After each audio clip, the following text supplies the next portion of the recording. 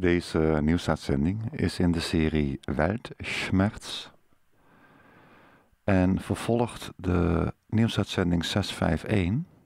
Dat is ook een Weltschmerz-serie, uit de serie Weltschmerz.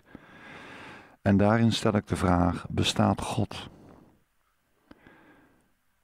En geef ik een logisch antwoord, vanuit de logica, vanuit de taal moet ik zeggen.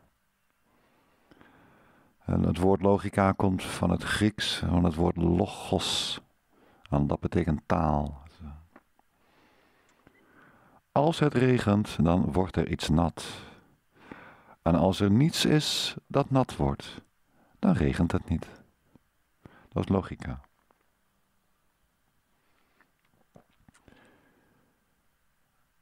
In nieuwsuitzending 651, waarin ik het heb over het bestaan van God, daarmee maak ik gebruik van het begrip esthetica. Schoonheid. En ik maak gebruik van de tweede hoofdwet van de thermodynamica. Deze uitzending, uh, uitzending, daarin ga ik in op de vraag: is er een wereld mogelijk zonder God? En om het even kort en krachtig te houden, uh, volgens Gerard Heijmans, ik ga zo dadelijk uitleggen wie dat is, wie dat was, hij is overleden. Uh, niet.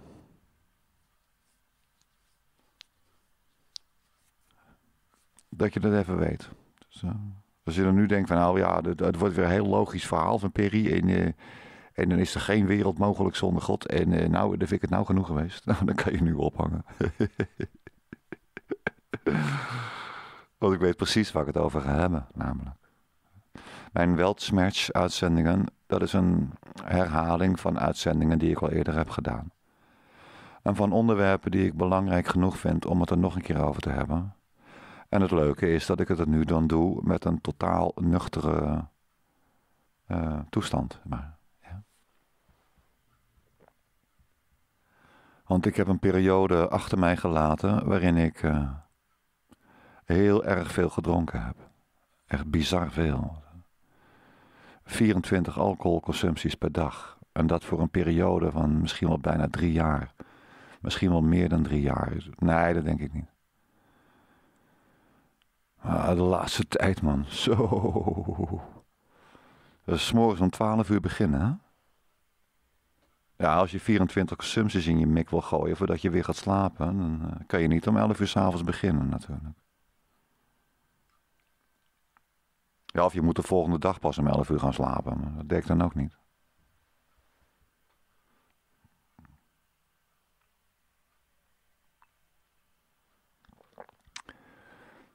Dus ik weet precies waar ik het over heb als ik het heb over veel drinken. Dus om twaalf uur s middags beginnen. Ja, om zes uur, half zeven, dus rond etenstijd, dan was het bier op. 3,5 liters, 10% alcohol. En dan hup in de benen. En dan naar de andere supermarkt. Niet zozeer dat ik me schaamde voor de hoeveelheid die ik wegzoop. Maar ik heb geen zin om mensen achter de kassa ja, zorgen te doen maken van die man. Ja, hij valt zo af en uh, hij is niet geschoren en wat drinkt hij veel en gaat het wel goed met hem of zo. Dus gewoon, ja, ik weet precies wat ik doe, namelijk belachelijk veel drinken. Dat deed ik op dat moment.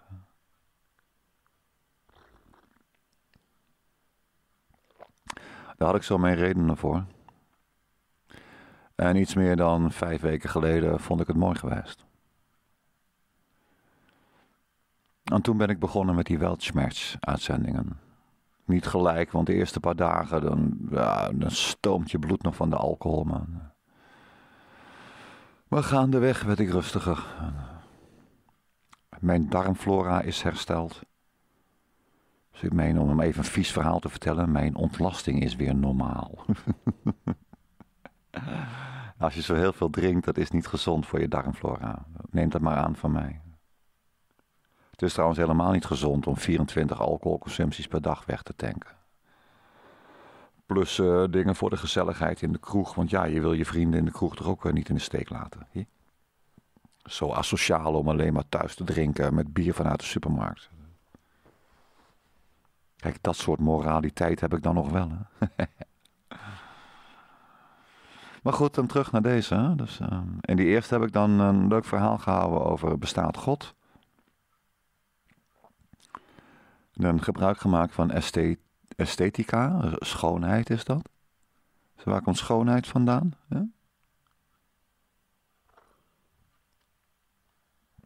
Schoonheid kan namelijk niet per toeval ontstaan. Dan ga je recht in tegen de tweede hoofdwet van de thermodynamica.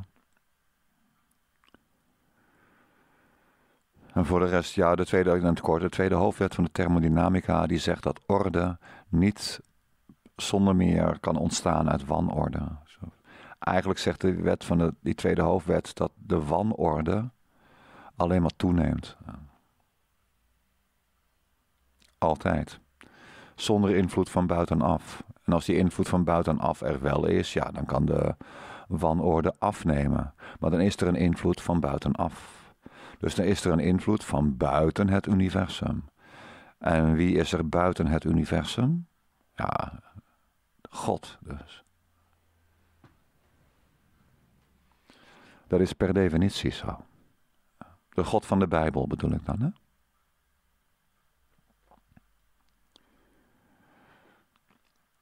En nu naar de vraag: is er een wereld mogelijk uh, denkbaar? Want dat, wat mogelijk is, is denkbaar. Hè? En als het niet denkbaar is, is het niet mogelijk, namelijk. Is er een wereld denkbaar? Is er een wereld mogelijk zonder God? Nou, volgens Gerard Heijmans, of officieel heet hij Gerardus Heijmans. Ik zal hem er even bijpakken. Hij heeft een wiki-pagina. Is heel keurig. Dus, uh, wiki en dan Gerard Heijmans.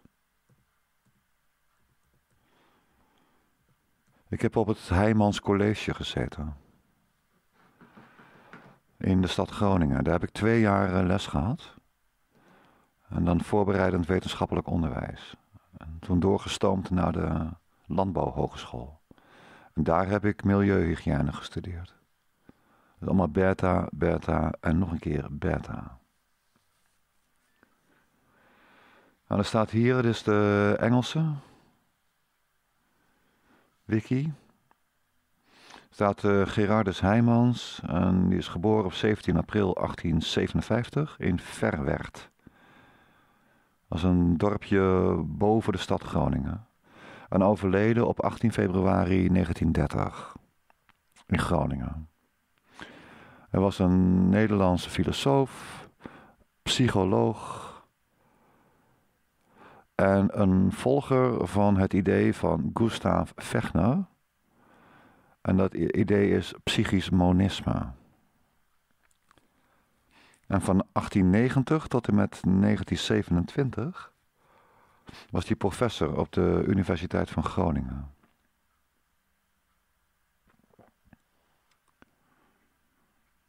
Ik heb van hem zijn, uh, wat ik dan noem zijn hoofdwerk. Zat hij hier ook bij? Oh, die zat er niet eens bij. References, dat hebben we niet. Jeetje. Moet ik even naar de Nederlandse toe. Zijn bibliografie.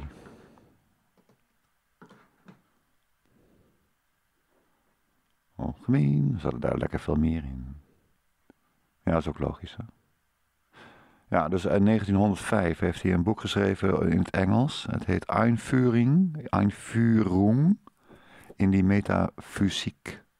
In het Daas schreef hij.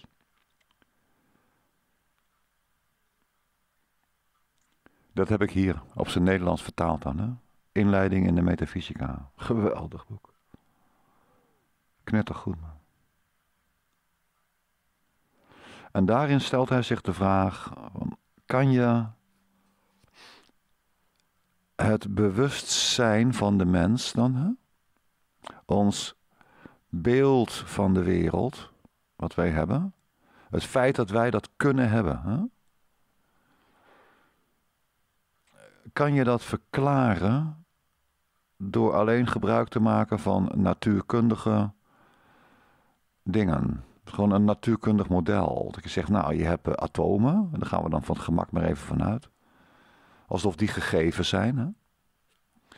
En kan je dan uh, een model opzetten dat die atomen kunnen gaan nadenken over ja, elkaar natuurlijk. Ik denk na over mijn dochter bijvoorbeeld. En ik, ik, denk na over mijn buurman en ik denk ook na over die burgemeester van Arnhem, die, um, die Mahmoud, die, die Marokkaan. Nou, en ik besta uit moleculen en die Mahmoud ook. Of atomen. Dus er gaan atomen nadenken over andere atomen. Maar ik denk ook na over de zon en ik denk ook na over de maan. En,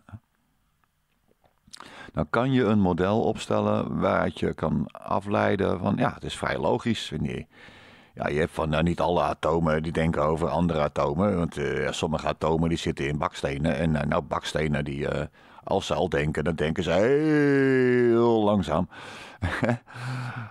maar Winkel die denkt af en toe heel snel, denkt hij. Dus je hebt langzaam denkende atomen zoals bakstenen en snel denkende atomen zoals die in periwinkel zitten. Ja. ja, dat kan dus niet. Zo'n model kan niet. Dat heeft hij in de inleiding in de metafysica, heeft meneer Heijmans dat eventjes uh, opgeschreven. Ja, dat je het even weet. Heijmans, dat schrijf je trouwens uh, H-E-Y M-A-N-S. Leuke school was dat. Daar hebben we met veel plezier op gezeten. Twee jaar lang. Leuke mensen ontmoet. Heerlijk was het in Groningen, moet ik zeggen. Daar hoefde je je fiets niet op slot te zetten. Ik weet nog wel dat ik de boodschappen ging doen in Sauwert.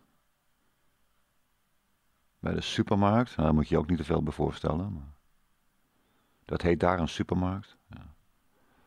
En ik was er naartoe gefietst. Ook weer uh, vijf kilometer fietsen of zo. Maar er was alles daar. ik zet hem tegen de gevel aan en ik doe hem op slot. En een zo'n andere Gunningen, die ziet me dat doen. En die, keek echt zo heel verbaasd. Van, wat doet hij... Uh, was ik daar? Allochtonen. Werden we ook gewoon genoemd hoor.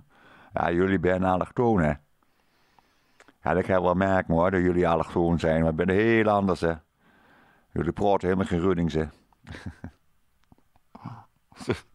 ik weet dat dat met mijn ouders en mijn moeder dan natuurlijk. Ja, die hadden de buren en alles uitgenodigd. Ja, kom allemaal een lekker kopje koffie drinken. Want uh, ja, we hadden dan de boel een beetje op kant. En dan zaten we met z'n allen bij ons in de woonkamer. En dan zei mijn moeder zo met een heel opgeruimd gemoed zo van... Nou, maar wij kunnen het best wel verstaan hoor, hoe jullie uh, spreken. Waarop die mensen haar zo fronsend aankeken en zeiden van... Ja, vind je het gek? We praten Nederlands momenteel.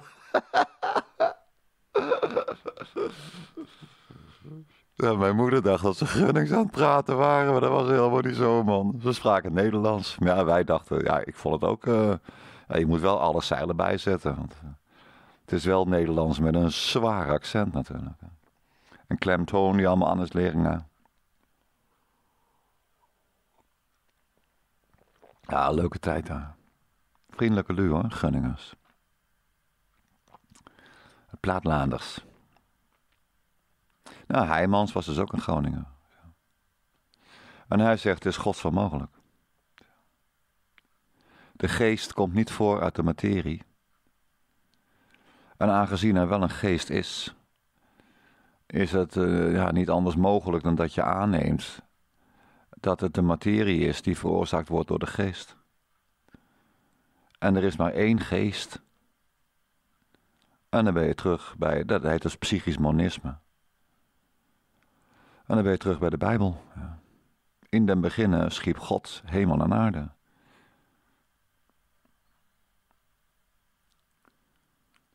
Ja, zo is het.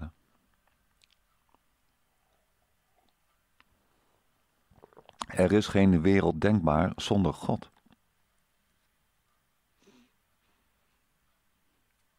Zonder die ene geest. En het mooie is, dat is heel hoopgevend, dat, dat staat ook in dat boekje, een inleiding in de metafysica. Dan schrijft iemand anders, uh, die heeft een soort voorwoord geschreven of een nawoord, dat weet ik niet meer. Ik kan het even erbij pakken, maar dat doe ik nou niet. Hè? Maar die ander, die schrijft dan dat het psychisch monisme eh, de deur openzet tot een onderbouwing der moraal. Daar gaat het om, hè? Uiteindelijk het doel van alle filosofie, van alle religie, is om de moraal te onderbouwen en af te dwingen. Alle non-moraliteit te schuwen.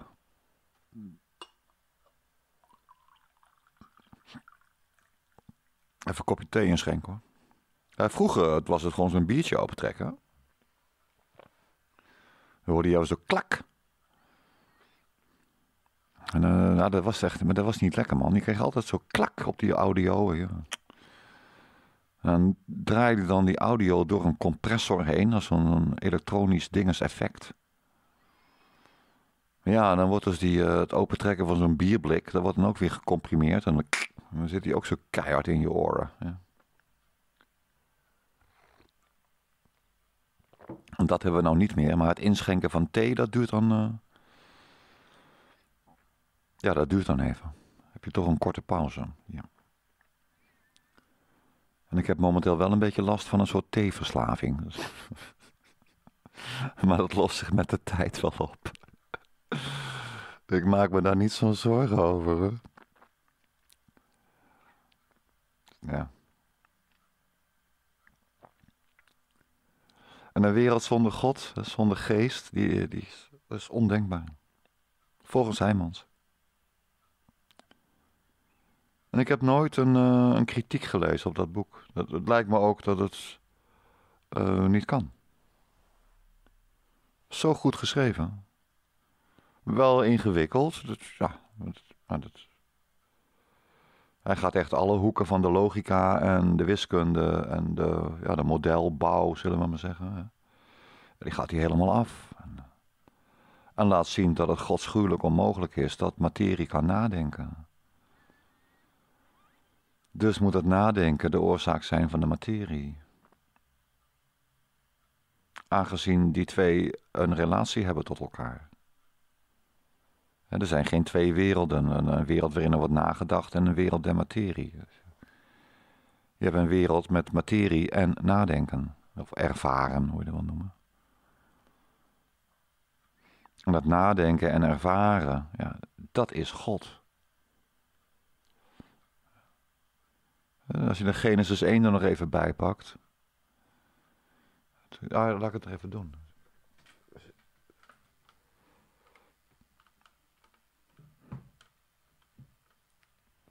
Pak ik lekker mijn statenvertaling. Want ik heb een statenvertaling uit 1637. Na, na, na, na, na.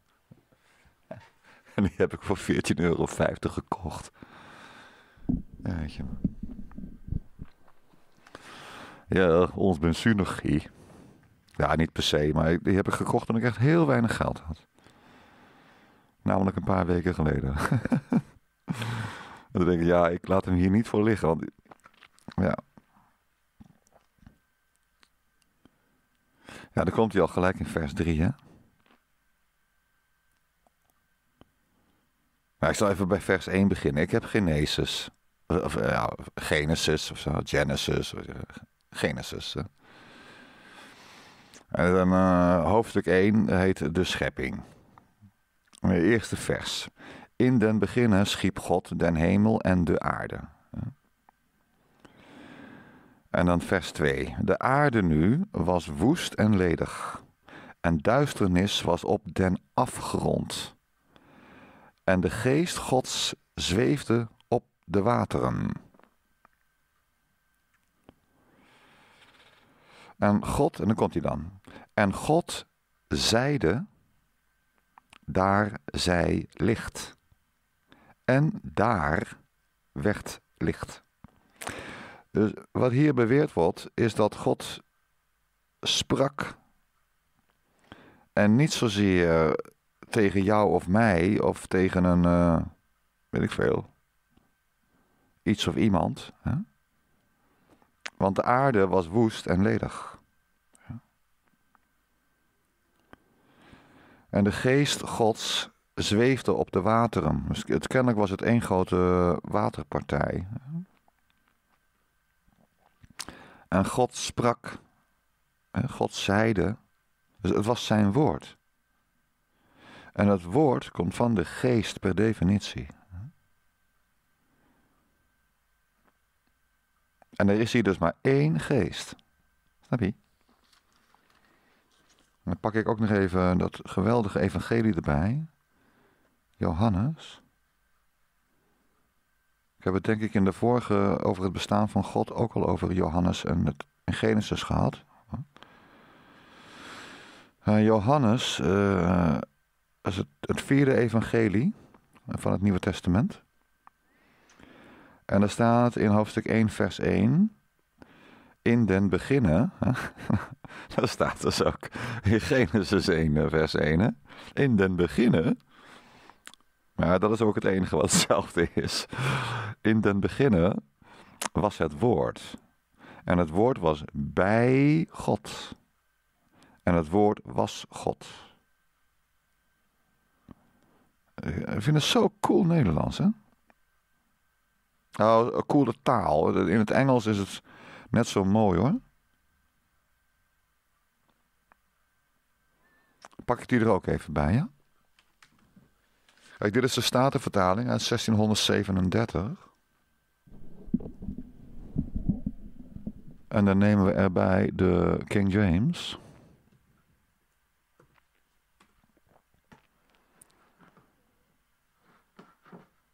En die is in 1611. Dus, uh, dan pak je gelijk je rekenmachine. En dan weet je dat daar uh, eh, 26 jaar tussen zit. Iets meer dan een generatie.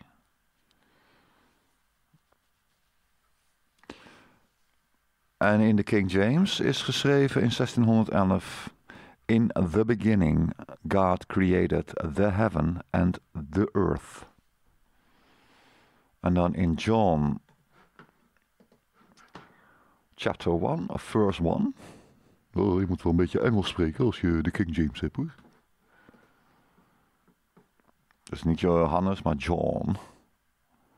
En daar staat: In the beginning was the Word, and the Word was with God, and the Word was God.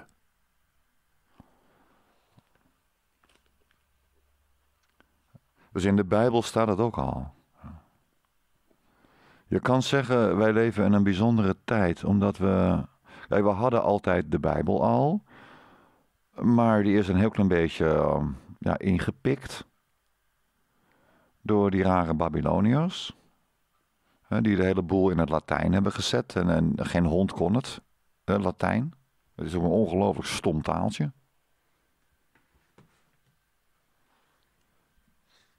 Dus een in elkaar geknutselde taal is het.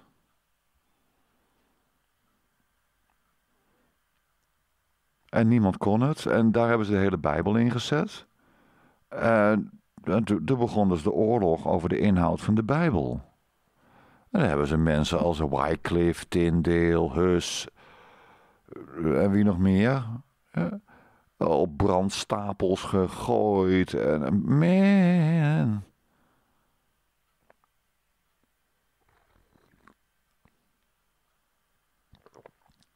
Iemand als Maarten Luther heeft het er nog levend afgebracht. Maar die was ook zijn leven niet zeker.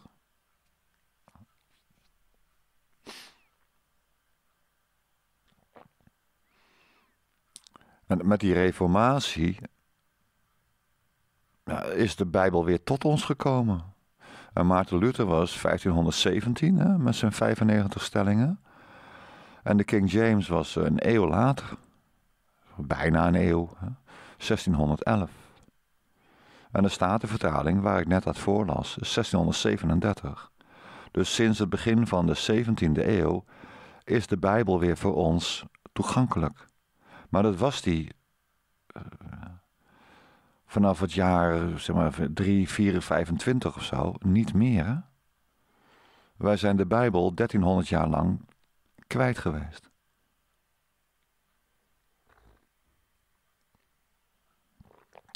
De inhoud dan, hè? die was voor ons ontoegankelijk. Er waren wel Bijbels, maar die waren niet voor ons. De katholieke kerk was er een ongelooflijk tegenstander van dat er maar iemand een Bijbel in zijn bezit zou hebben. Zelfs in de 19e eeuw is er nog een echtpaar geweest dat veroordeeld is tot levenslange gevangenisstraf. Omdat ze, ja, ze gaven bijbelles op straat aan Jan en alle man. In een gebied waar het iets te katholiek was voor dat soort activiteiten.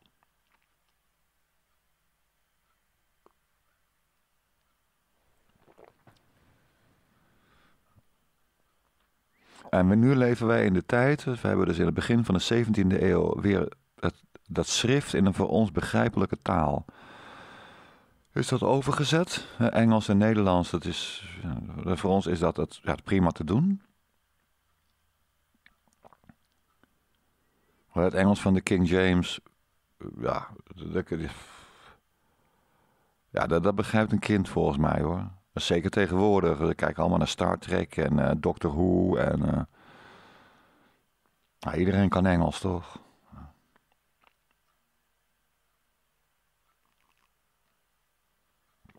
En het Engels van de King James, dat is super simpel. En dat geldt ook voor het Nederlands van de Statenvertaling. Er staan soms wat woorden in dat je denkt van, hé? Wie staat die nou?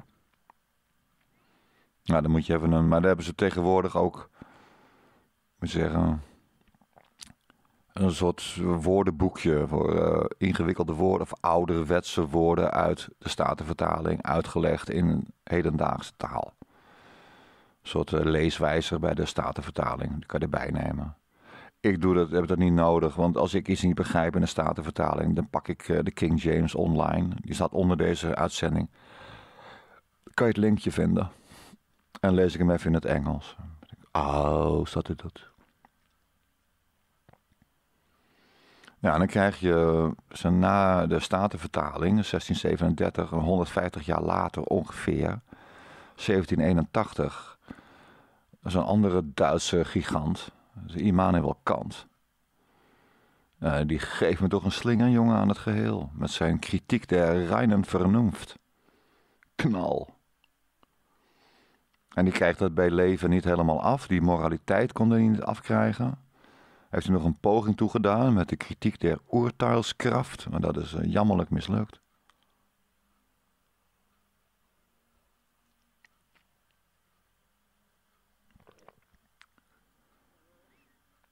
En gelukkig na hem kwam Arthur Schopenhauer. En die heeft die moraliteit, uh, noem het maar, afgebreid. Zo'n een soort breiwerk. Van nou, rustig doorgaan. Want in het werk van Kant, daar zitten...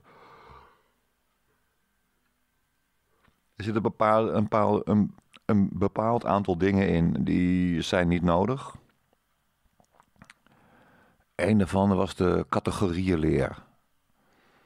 Nou, daar moet je niet aan beginnen. Dus ik ga jullie ook niet eens uitleggen wat het inhoudt. Schopenhauer zegt dat het uh, bullcrap is. Ga daar maar vanuit dat het klopt. Ja, ik bedoel, dat Kant een geweldig boek heeft geschreven... wil niet zeggen dat alles wat Kant heeft geschreven... allemaal even geweldig is.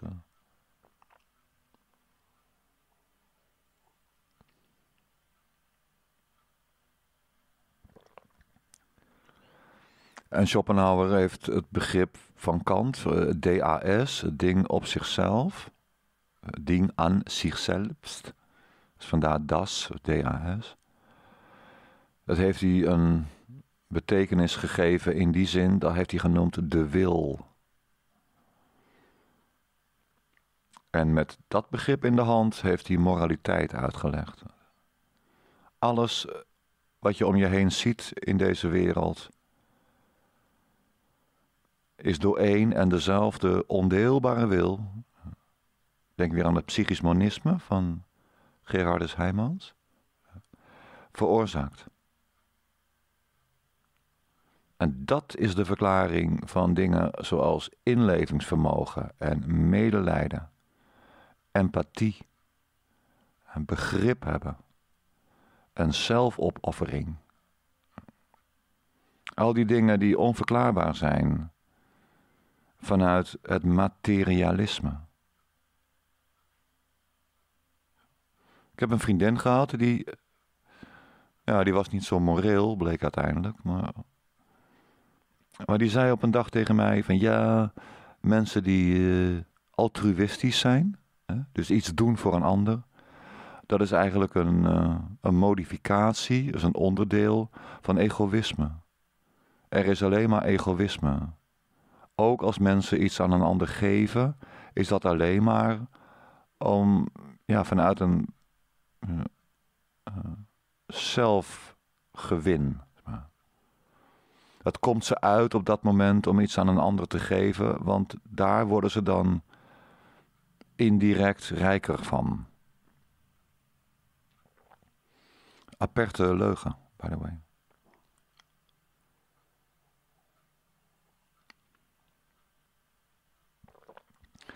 Ja, zij was ook heel ver van het geloof af.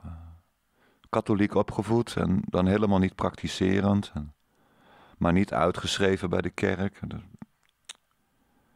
En dan maar een soort van, ja, dan zijn we maar atheïstisch of zoiets.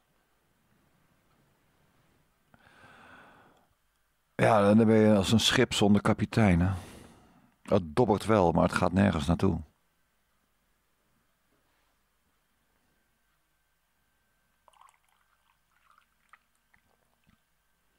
Maar gelukkig, ze ging vreemd met een, uh, een bankier.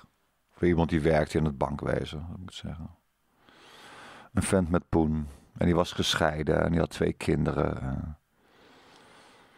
Nou, ze zitten warmtjes bij, mag ik aannemen. En dat is fijn voor een materialist. Die het gaat om de materie. En ik ben geen materialist, dus ja, we hoorden niet bij elkaar.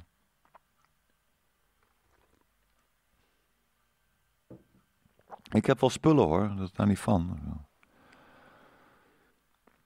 Ik heb belachelijk veel t-shirts, kwam ik vandaag achter.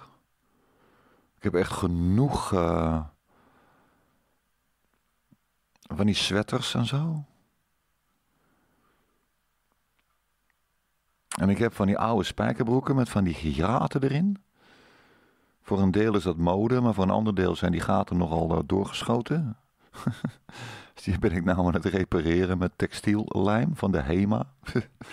dus zo dadelijk heb ik weer drie spijkerbroeken. nee, vier. en ik heb er maar twee nodig. Ja. ja. En dan heb ik ook nog twee van die uh, camouflage uh, dinges, uh, militairachtige broeken. Maar ja, die doe ik nou niet meer aan. Ik vind het zo raar staan voor een man van 59. Bijna 60. Ja, een keer op vakantie of zo. Het zijn wel handige broeken hoor, van die grote zakken aan de zijkanten. Het is lekker als je op vakantie bent. Dan heb je allemaal stuf kan je erin proppen, man.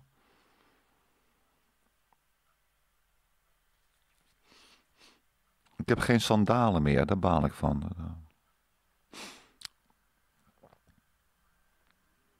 Ja, dat zien we dan wel weer. Als ik weer wat geld heb, ga ik sandalen kopen. Van die Birkenstock. Ja, lekkere Duitse sandalen. Dus ik heb wel spullen, daar niet van, maar ik geef er niet om. Ik heb een ontzettend mooie auto's gereden. Echt vette bakken, man.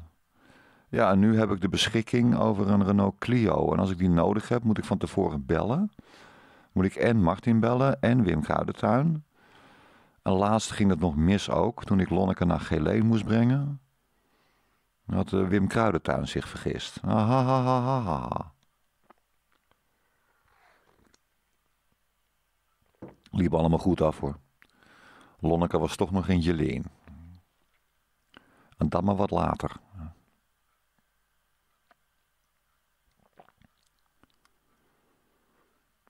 Dan moet ik ook nog twee kilometer lopen voordat ik die Clio heb. Maar dat vind ik allemaal niet erg. Vroeger had ik zo'n leasebak van 1300 gulden in de maand. Die stond strak voor de deur, man. Kijk, dan gaan we praten. En dan zo'n tankpasje. Dus ik hoefde ook nooit af te rekenen bij de benzinepomp. Maar even pasje laten zien. Pliep. Spaart u zegels? Nee, dank u wel.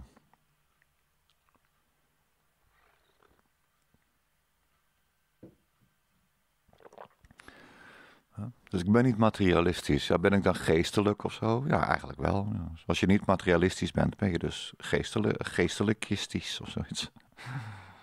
Ja, toch? En een wereld zonder God kan niet. Punt. Ja, maar waar is die dan? Nou, ik kan het je heel eenvoudig vertellen. Je kan hem niet vinden. Dus het heeft geen zin om te gaan zoeken. Je kan zoeken naar een doel in je leven en dan zal je het vinden. En als je het gevonden hebt, zal je weten dat jij gevonden bent. Zoiets. Maar God kan je niet vinden in een kerk of door heel veel te gaan bidden of. Nee.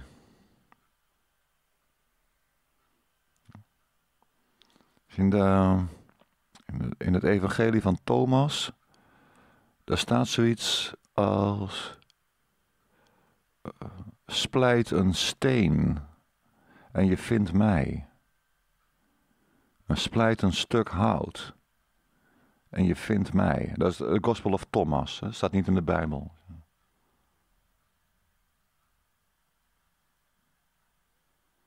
Maar ik vind het erg mooi.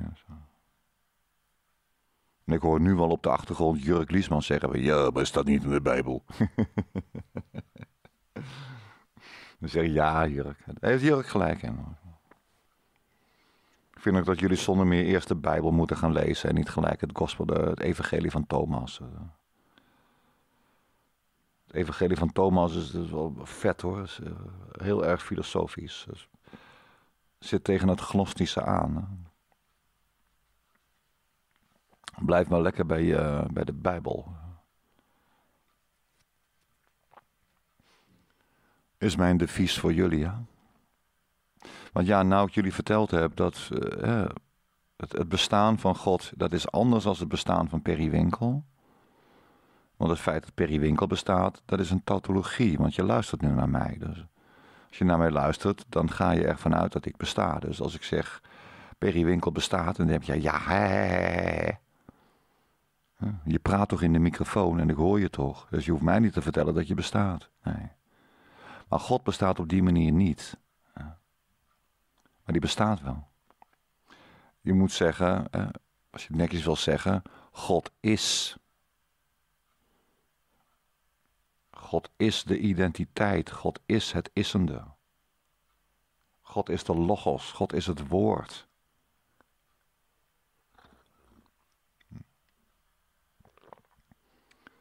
En het woord is het issende. Dat is iets waar jij je aan te onderwerpen hebt.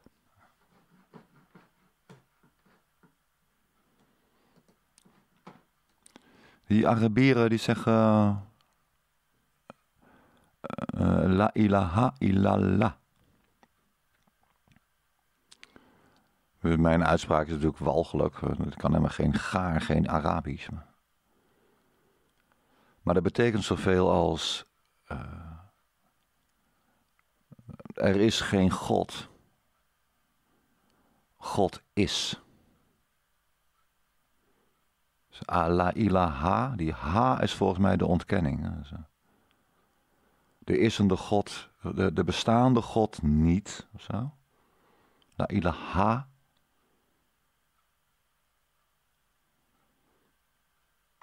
La. God is daar of zo. God is het issende.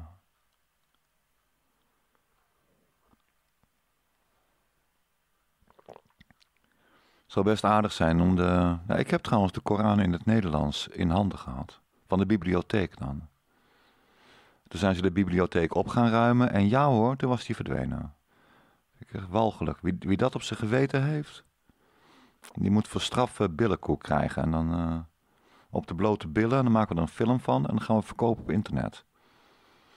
Bij de afdeling SM en andere porno. Hoe, hoe durf je dat? Dat is een van de weinige goede boeken in de bibliotheek. Tezamen met die andere. Er stond best behoorlijk materiaal. Allemaal opgeruimd. Hè? En vervangen door uh, Donald Duck. Een andere Walt Disney onzin. Schande.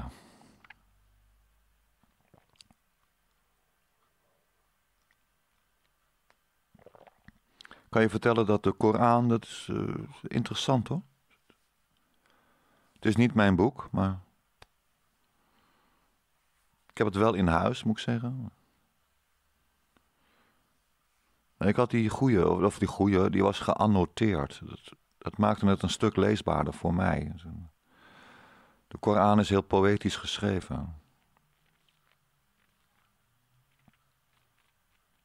Tenminste, wat ik gelezen heb. Woorden als, uh, ja, de Bijbel heeft er ook last van.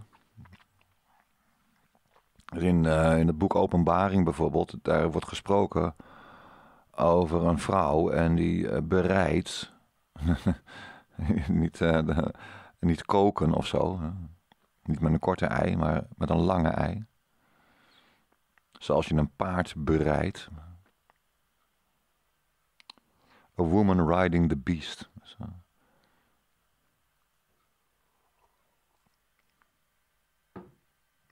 Even kijken hoe dat in de, in de Statenvertaling staat. Dus zoek ik even in de King James. Woman riding.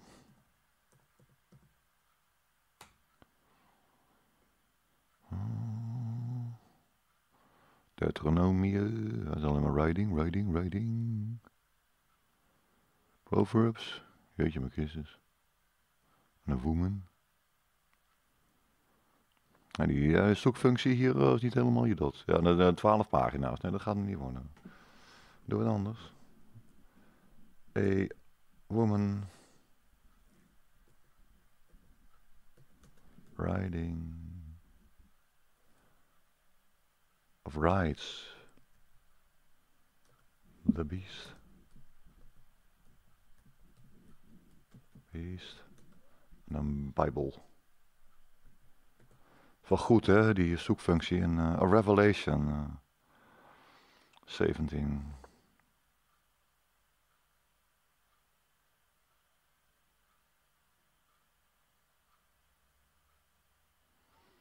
Even kijken. Revelation 17.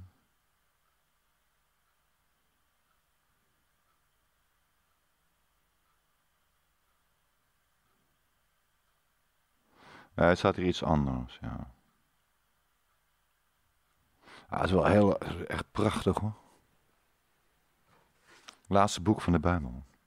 Ik heb het over poëzie. Hè? En poëzie is, dat heeft een kracht in zichzelf.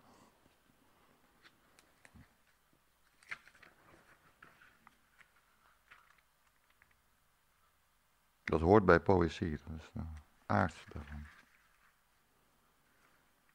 de essentie. Wordt ook al gezegd, het gaat hier om een, een, een profetie. Ik kan het ook zo, ik kan het ook zeggen.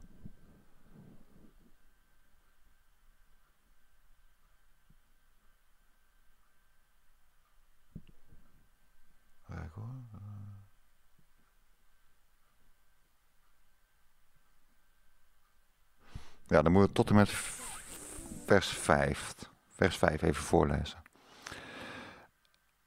En, uh, en een uit de zeven engelen, die de zeven violen hadden, kwam en sprak met mij en zeide tot mij, Kom herwaarts, ik zal u tonen het oordeel der grote hoer, die daar zit op vele wateren, met welke de koningen der aarde gehoereerd hebben, en die de aarde bewonen, zijn dronken geworden van den wijn harer hoererij. En hij bracht mij weg in een woestijn, in den geest. En ik zag een vrouw, zittende op een scharlakenrood beest, dat vol was van namen der godslastering, en had zeven hoofden en tien hoornen. En de vrouw was bekleed met purper en scharlaken, en versierd met goud en kostelijk gesteente en parelen, en had in haar hand een gouden drinkbeker, vol van gruwelen en van onreinheid harer hoererij. En op haar voorhoofd was een naam geschreven, namelijk verborgenheid, het grote Babylon, de moeder der hoererijen en der gruwelen der aarde. Ja, man. Dus openbaring hoofdstuk 17. Nou, is dit letterlijk zo? Nee, natuurlijk niet. Het is een profetie. We moeten even kijken wat violen zijn. Want ja, dan denk jij met een V van Victor. Maar dat is dus niet zo. Dus met een F van Frederik. Gaan we even opzoeken. Statenvertaling. Oké. Okay. Dan violen.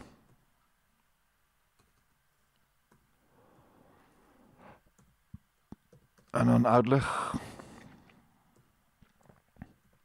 Kijken wat hier, wat hier komt.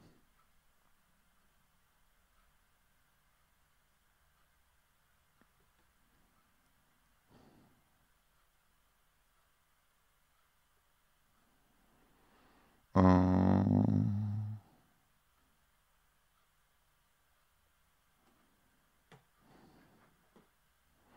ik denk dat het een viool iets is. Als een soort van. Dat is niet iets van een drinkbeker of zo. Statenvertaling met kanttekeningen.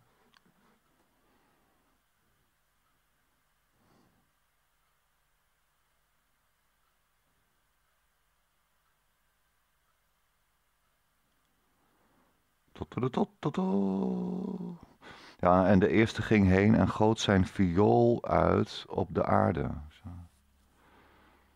Nou, dan doen we even etymologie violen. Etymologie. Violen.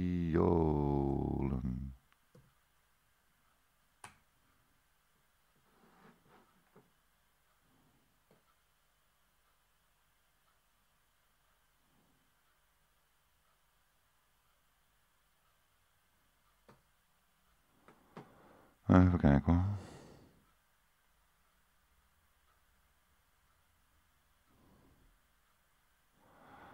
Oh, het is een flesje.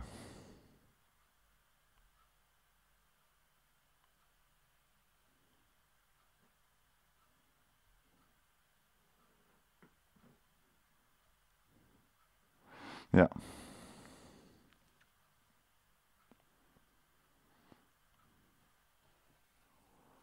Staat hier een, uh, een inzonderheid, inzonderheid, een sierlijk bewerkt of ongewoon gevormd flesje met bijzondere inhoud of bijzondere bestemming.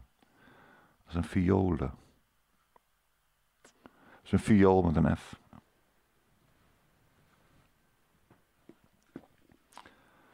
Weten we dat ook weer. Dus terug naar die vraag: van, is er een wereld denkbaar zonder God? Ja, volgens Gerard Heijmans niet. En dan gaat het om het denkbare. Als je niet nadenkt over de wereld, ja, dan kan er, kan er alles zijn. Hè? Maar als je gaat nadenken over de wereld, wat Gerard Heijmans deed in zijn boek Inleiding in de Metafysica, Einführung in der Metaphysik. Als je echt die studie gaat maken van de kennis die mensen hebben en de verklaring die dat mogelijk geeft,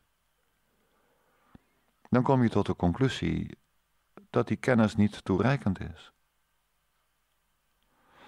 Je kan hooguit zeggen van ja, dat heeft Kant ook al in 1781 voor elkaar gekregen. Toen hij in, in dat werk Kritiek der reine Vernunft heeft gezegd, en dan op zijn Nederlands als volgt. Daarom moest ik het weten opheffen om ruimte te maken voor het geloven.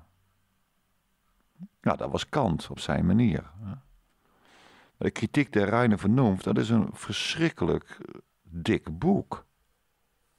Bijna misdadig.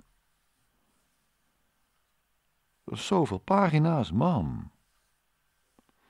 Terwijl dat boek van Gerardus Heijmans, wat is dat? Een paar honderd pagina's, ben je klaar? Zo'n handzaam boekje. Ik heb hier de kritiek der Reine Verdoemd, heb ik hier in de, in de boekenkast staan. Ja,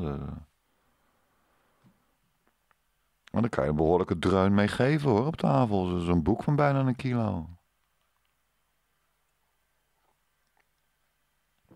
Terwijl de inleiding in de metafysica, dus, ja, als je dat een paperback uitbrengt, uh, dan weegt het een ons of zo.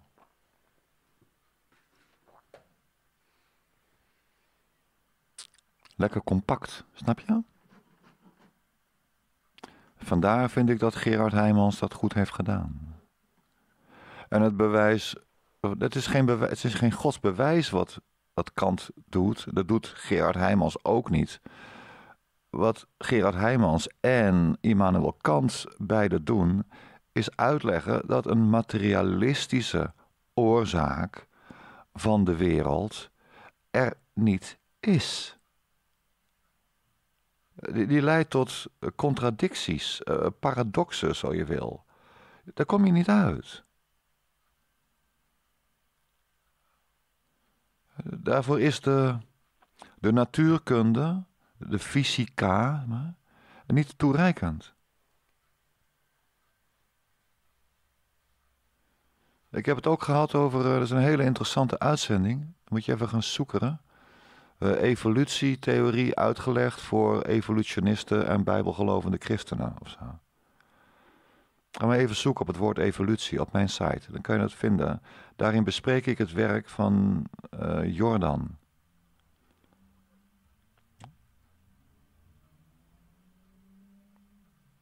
En die is dan op zijn manier materialistisch bezig. En vindt dan in zijn onderzoek, is een bioloog, een evolutiebioloog, zulke bijzondere dingen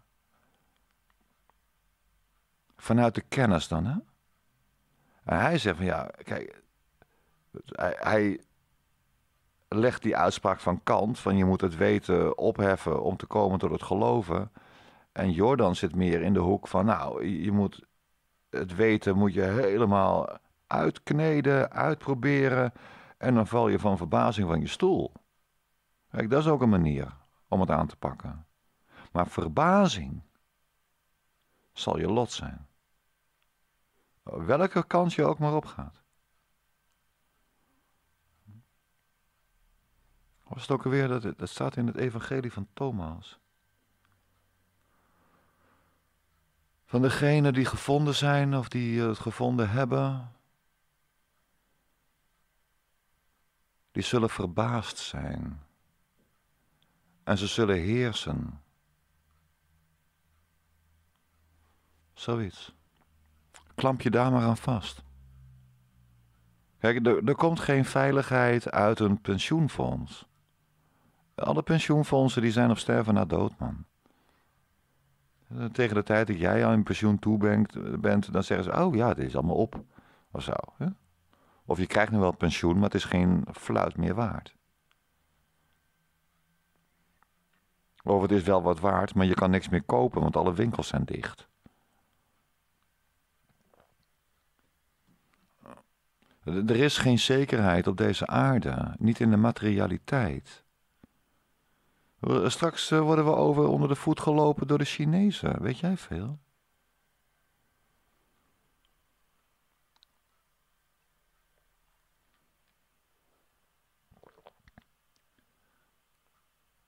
Eh, straks spreken we ja, hier in Nederland eh, geen Nederlands meer. Daar moet je niet gek van staan te kijken hoor. Door het gaat hard achteruit met de kennis van Nederlands. Van de taal dan, hè? En respect voor de Nederlandse cultuur, dat hebben zelfs de Nederlanders in steeds mindere mate. Ja, en wat wil je dan nog? Ja?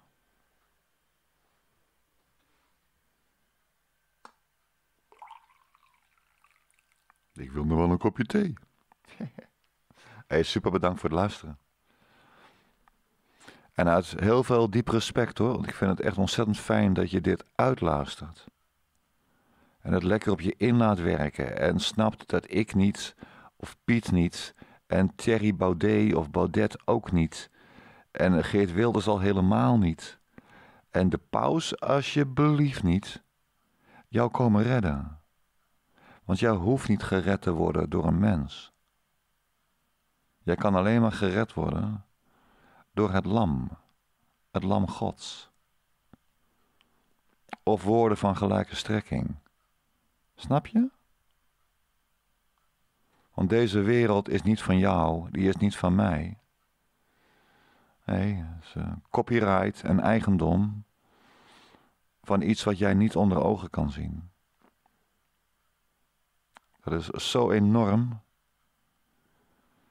Is angstaanjagend. Die Arabieren zeggen dan voor het gemak uh, Allahu Akbar.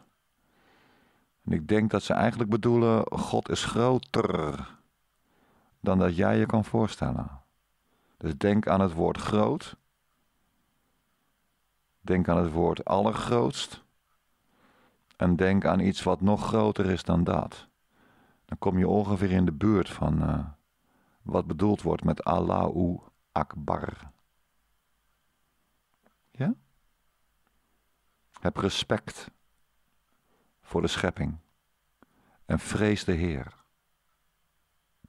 Halleluja. en tot de volgende keer. Als we dan nog leven natuurlijk. Hè? Maar dan zeg ik dan nu alvast. Tjus. En dag lieverds.